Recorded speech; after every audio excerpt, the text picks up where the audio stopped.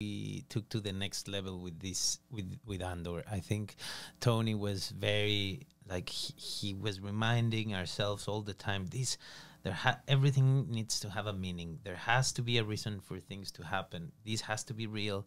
This has to be happening. And uh, and then you go into the reviews and you read like it's so real. Yeah. it's so realistic. And you go like wow it's been the, the series it's been celebrated for the same reasons i decided to do it you know